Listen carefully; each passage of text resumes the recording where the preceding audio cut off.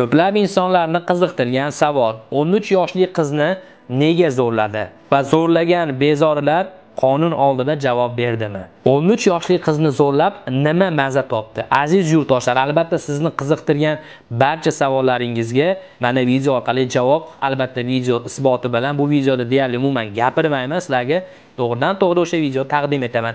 Zo'rlangan qizni kim va nega zo'rladi? Ona nega bunday kuyinmoqda? Onaga kim yordam beradi albatta videoni ko'ring. Sizlar uchun va albatta agar malol kelmasa ikki og'iz fikringizni kommentariyga yozib qoldiring chunki sizning fikringiz muhim ahamiyatga ega va yetdim deb yetti harakat bilan shu insonlarning ishlari hal bo'lishligi uchun atiga bir dona layk bosib qo'yishingizni iltimos qilaman. Alloh rozi bo'lsin. Obuna bo'lganlar sizlarga kattakon rahmat deb video sizlarga taqdim etaman. Marhamat. Assalomu alaykum hurmatli ijtimoiy tarmoq vakillari. Assalomu alaykum maks madiyevni E, kuzatib boruvchilar men oldin to'g'ri qizim bilan murojaat qilganmiz lekin u murojaatimizda hamma negativ yozgani uchun men yo'llamadim. Undan keyin men e, maks madiyevga murojaat yo'llashni boshladim. Maks madiyevda haqiqatdan qaror topdi. Э, iltimos uka sizdan meni e, gapirayotgan gaplarim isbotini yonimga chiqarib qo'yishingizni iltimos qilaman. Sizga hammasini jo'natyapman. Meni qizimni avvalo jinoyatchilarni sudi bo'lgandan keyin o'n uch kun deganda meni qizimni noqonuniy ravishda ana shu paxtabod hokimiyatida ishlaydigan dilnavo hojimatova jinoyatchilarni onasi ya'ni ana ishlaydigan hokimiyatdagi komissiyalar noto'g'ri qaror chiqarib noqonuniy yo'l bilan yolg'on ko'rsatma yolg'on xulosalar bilan meni qizimni e, o'n to'rtinchi sentyabr kuni o'n uch kundan keyin meni qizimni toshkent viloyatiga chinoz tumanidagi tarbiyasi og'ir bolalar maktabiga jo'natishyapti. Noqonuniy ravishda paxtabod sudiyasi tomonidan men rozi bo'lmasligimga qaramasdan ular jo'natishyapti.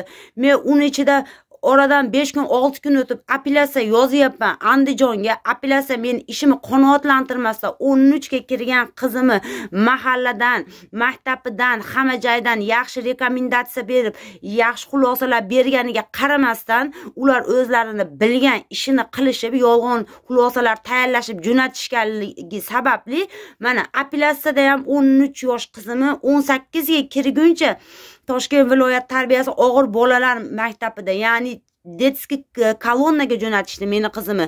Shu ishlar bo'lgandan keyin mana shu ishni paxtabod sudini andijon viloyat sudini apellyatsiyalari bekor bo'lib mana e, andijondagi sudi ham bekor bo'lib toshkentdan oliy suddan oliy suddan surishtiruvlar olib o'tilib andijon viloyat prokuraturasidan surishtiruvlar olib o'tilganda meni qizimni noqonuniy jo'natgani haqida faktlar topilgani uchun meni qizimni oqlab oppoq qilib yaxshiligini isbot qilib meni qizimni qaytarib e, o'g'lab chiqarib berishdi. Men unga albatta jim o'tirganim yo'q.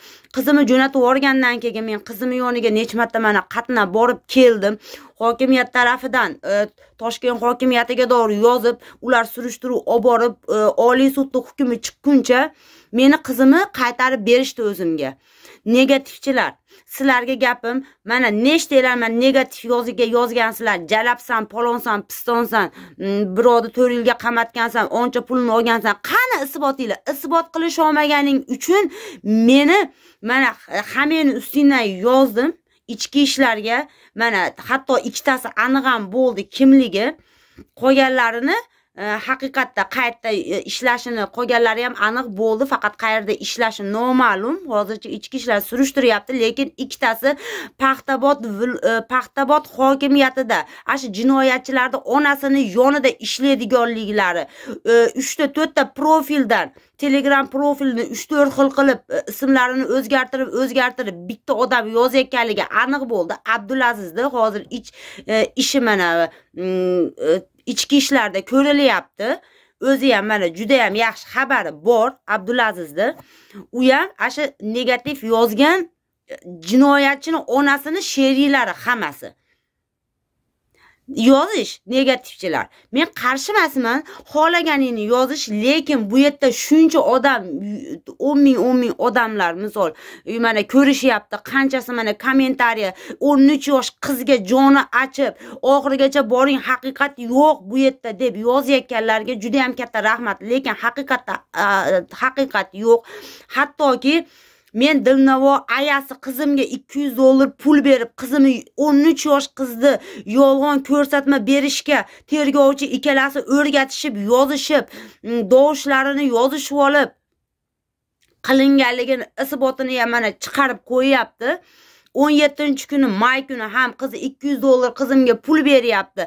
Aldov yo'li bilan ko'rsatmasini o'zgartiryapti. Men o'n yettinchi kuni ikki soatdan keyin borib ikki yuz dollar berganligini uchastkovoy ikkalamiz borib isbot qilib qo'yyapmiz.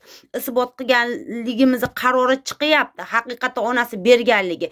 Lekin u yerda jinoyat hujjatlarida o'n yettinchi kunni bo'jab bo'jab men deladan ko'chirma olyapman. Yonimda e, sudyani yordamchilari milliy gvardiyadagilar ana shu yerda turishibdi. Lekin jinoyat ish hujjatlarini ana shunaqa qilib bo'jash qonunga xilof ishmi? Qonunga xilof ish bu. Xilof e, haligi qonunga to'g'ri keladigan ish emasda bu narsa. O'n yettinchi chislada yozilgan mm, narsamizni bo'jab bo'jab o'n sakkiz qilib qo'yib berishyapti.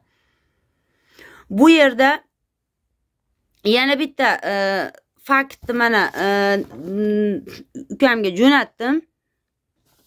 Meni onalik e, vakolatidan e, men o'n uch yosh qizni qonuniy vakilimanda meni qonuniy vakillikdan yo'q qo'yishyapti qonuniy vakil emassiz yuzlashtirma paytida meni tashqariga chiqarib yuborib e, tashqariga chiqarib yuborganda men jim qarab turganim yo'q. Menga dedim e, kameradan qo'yish berasan men boshqa xonada dedim ko'rib o'tiraman dedim. Ko'rib o'tiribman. U yerda mm, u psixolog kim? Maktabdagi psixologda olib kirishib olib qizimdan u yerdan yuzlashma o'tkazishyapti. Qizimni ustiga ular mana shu ularni advokati u odamlar qizimni ustiga ustiga shunaqangi yomon gaplar gapirishyapti. Men chiqib ana shu yerda uch marta to'rt marta urushib ketdim. Qizimni og'zidan chiqqan gaplarni yuzlashtirma bayonnomasiga yozmayapti. Qizim u yerda yozyapti.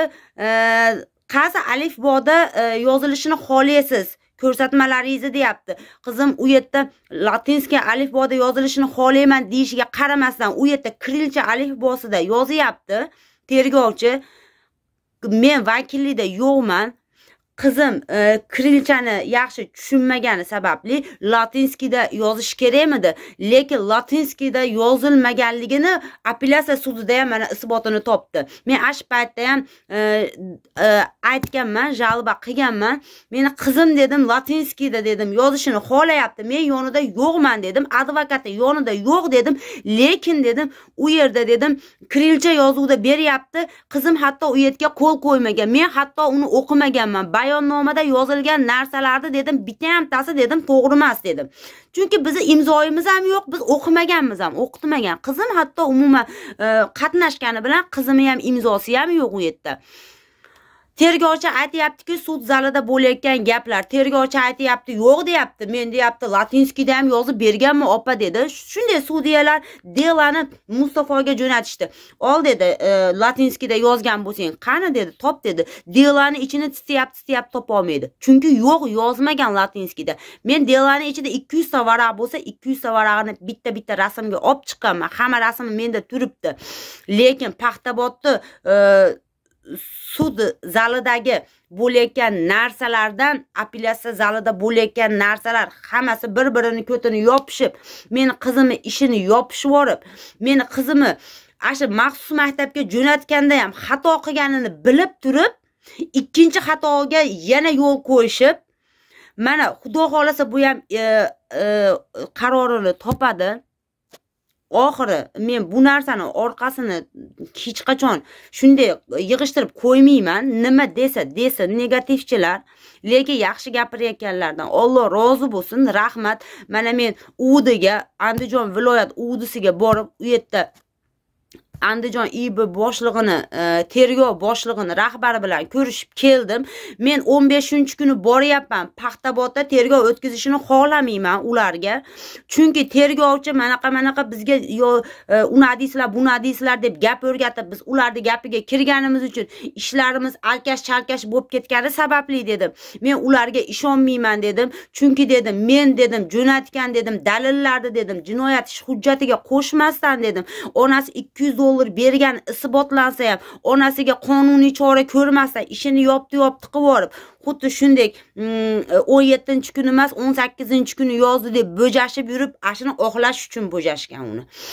Shu ishlarni qilgan odamga dedim e, delami jo'natmasdan iltimos dedim andijon viloyati e, ichki ishlari meni ishimni tekshirishlari so'rayman deb ariza yozib kelishimga qaramasdan oradan besh kun o'tib meni arizamni yana paxtabodga jo'natyapti. Paxtaboddagilar ishni ko'rishmayapti. Хотя бы tekshirishdi bo'pti. Tekshirmaysizlar ekan. Yuzimga biz e, bu ishni tekshirmaymiz. Deb aytsa bo'ladi. Lekin nima haqqi bor? Men andijon ichki ishlarga yozyapman paxtaboddan norozi bo'lib yana meni arizamni yana paxtabodga jo'natishib yuboryapti. Paxtaboddagilar yana nima qilishadi? O'zlarini oqlaydi. Yana e, ichki ishlarni e, nimasini tergovchisini boshlig'i aytyaptiki men oldin bu ishlarni surishtirganman. E, men dela bilan tanishib chiqqanman. Э, hammasini ko'rib chiqqanman. Bu yerda qonuniy e, bo'lyapti hamma narsa. Men o'tgan safargi misol e, murojaatimda aytdim.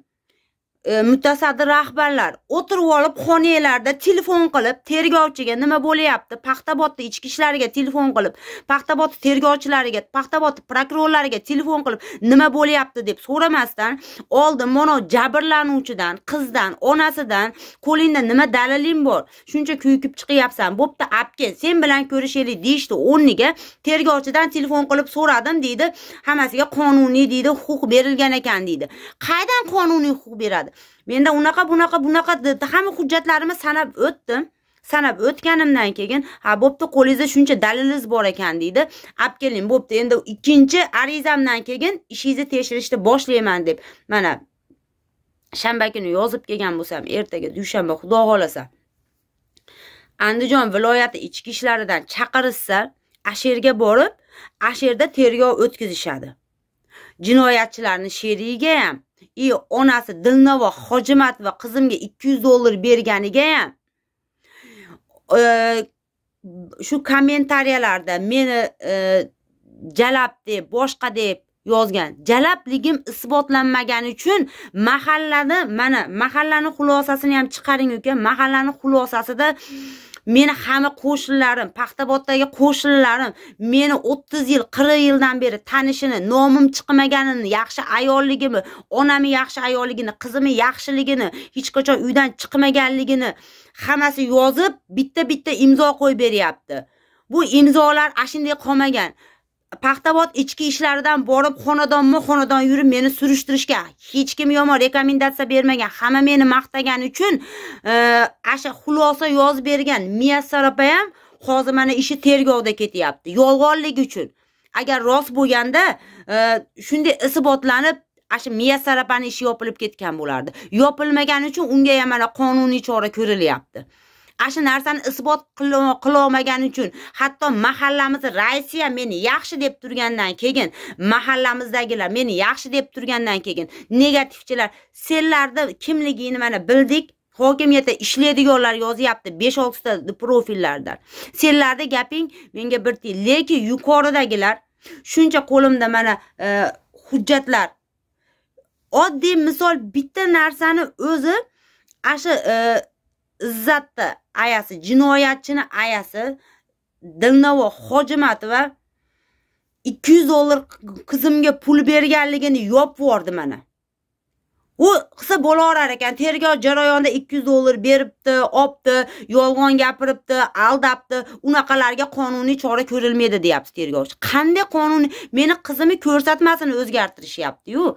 Doshlarini yozishib olyapti o'n uch yosh qizni aldab. Ham meni qizim ashuncha jabr ko'rsin erkaklarni ichida o'n uch yosh qizimga shuncha hamma yo'g'ini pachag'ini chiqarib yuborishgan. o'n uch yosh qizim ham qiynalib manaqa psixologiyasi o'lib manaqa ruhiyatlari tushib ketib yursin ham meni qizim o'n uch kunda e, toshkentga tarbiyasi og'ir bolalarni yoniga ham jo'natib yuborsin. Ham qizim ham jabrdiyda ham u yoqqa ketgan odam endi u yer qamoqxonani singari joy ekan. Men o'z ko'zim bilan ko'rib keldim qizim qanaqa qiynalganliklarini. Hatto ashetdan yerdan qichishqaq kasal bo'lib kelib mana hozirga dor qizimni davolatayotganligimni hamma xalq bilsin. Ashularni aybi bilan paxtaboz sudini ham andijon sudi ham sudini ham chiqargan hukmi ham ajrimi ham mana bekor bo'ldiyu.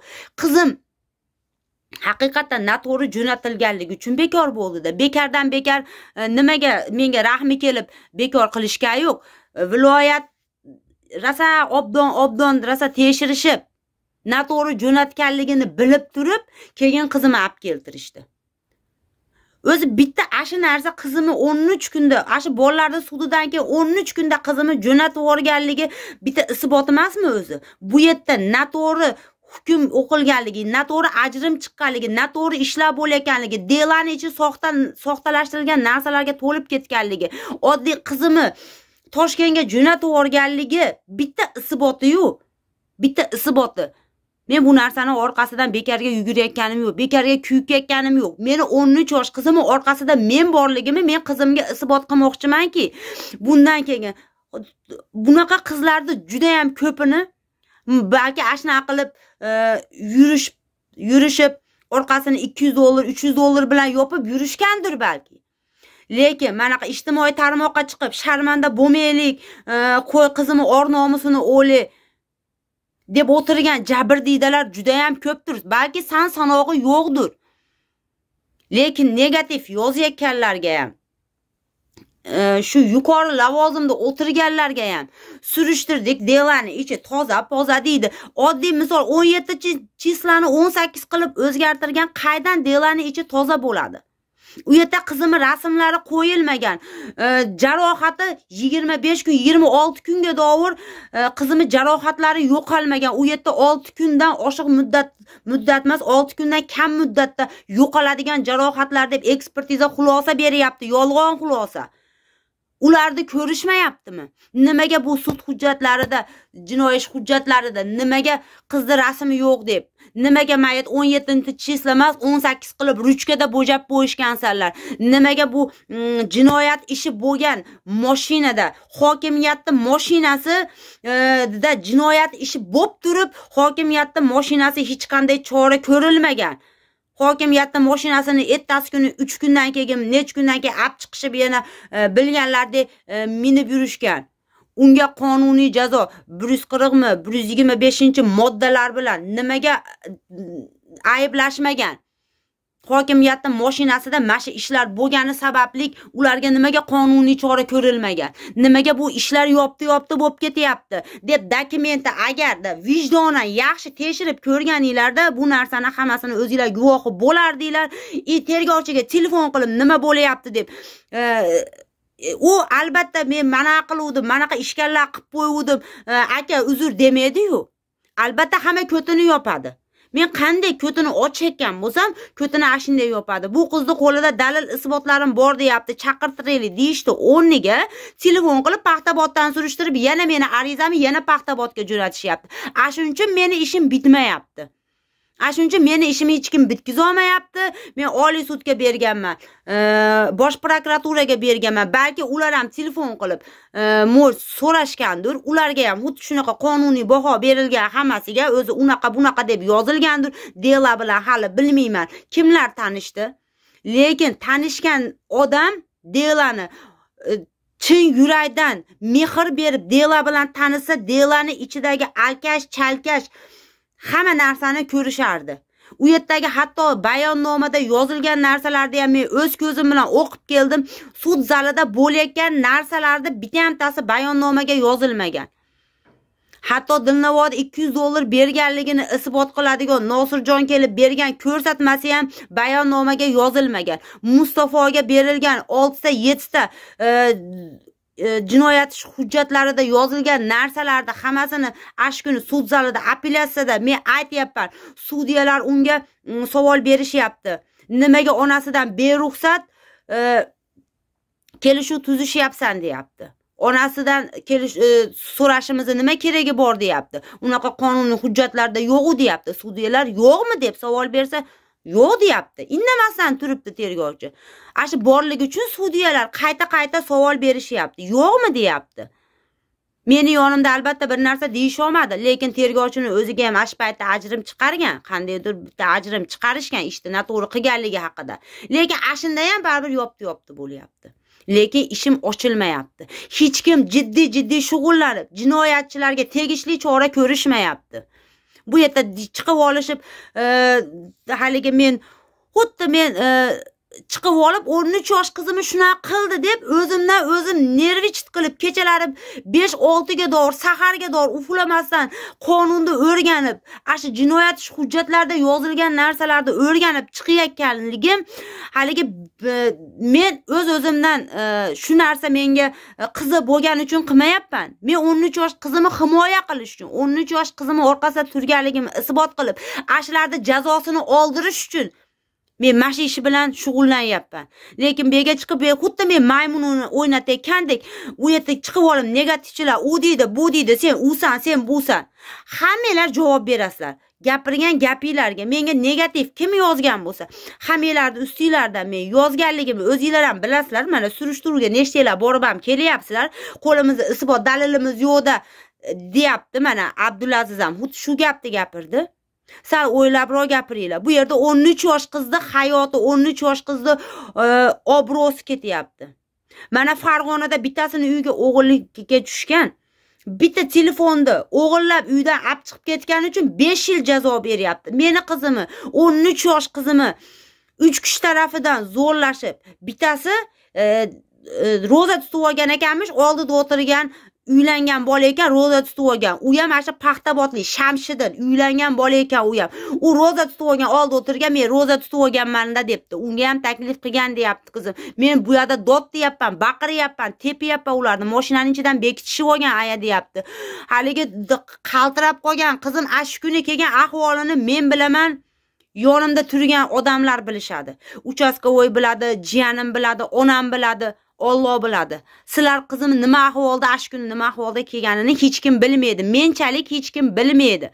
Men kuyib ketganimning sababi ham shu. Meni qizimni ko'z ko'zidan oqqan har bitta tomchi yosh uchun maxsus maktabda det koloniyada 2 oy meni qizim ashetta qiynalib yurib kelgan uchun ashlarda aybi aybi uchun meni qizimni maxsus maktabga jo'natib yuborishgan uchun har bitta ko'z yoshi uchun hammasiga kerak bo'lsa qonun oldida javob bermasa u dunyoda bo'lsa ham men yaqasidan tushmayman shu odamlarni. U dunyoda bo'lsa ham men shu narsani mm, qarshisida turib yaqasidan tushmayman. Ash qilgan ishiga meni qizimga qilingan ishlariga hamma bitta bitta javob beradi. Har bitta qizimni ko'zidan shu det kolonnada yotgan ikki yarim oy umri meni qizimni yigirma besh yilga teng bo'lib ketdi. Qizimga ham menga ham.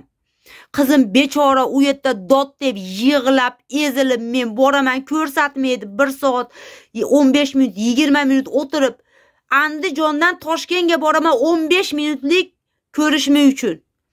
Narsalarini olib boraman. Ko'rishib qizim bilan qaytib kelaman chidolmayman yana boraman. Men qizimni orqasidan yugurganlarim. Qizimi har bitta yig'lagan ko'z yoshlari hammasi uchun hamma javob beradi. Asha kerak bo'lsa ro'za tutib olgan seni ro'zang qabul bo'ladimi? Seni ro'zang hayotda qabul bo'lmaydi. Uchtasi meni qizimni zo'rlayapti sen o'tirib olib oldida ro'za tutganman meni xotinim bor qo'yish menga deb menga kerak emas deb o'tirib tomosha qilib o'tirgansan senga ham qonuniy jazo bor. Hammang bitta bitta javob berishasan meni qizimga qilingan ishlar uchun. Lekin mutasaddi rahbarlar iltimos dela bilan ichini ochib obdon tekshiringlar hatto moshinada hokimiyatni moshinasida bo'lib o'tgan ishlar yuzasidan Э, tergov jarayonidagi yolg'on ko'rsatmalari yuzasidan yolg'on ko'rsatmalarni isbotlaydigan meni disklarim borligini hamma yo'g'ini ovozlari borligini hamma yo'qni inobatga olib jiddiy jiddiy shug'ullaninglar bu ish bilan Albatta ushbu videoga yozgan kommentariylarni nafaqat men, davlat xodimlari ham o'qib chiqadi. Alloh rozi bo'lsin, kattakon rahmat deb sizlar bilan shu yerda xayrlashib qolaman. E'tiboringiz uchun men Muhammadjon Madih bo'ldi.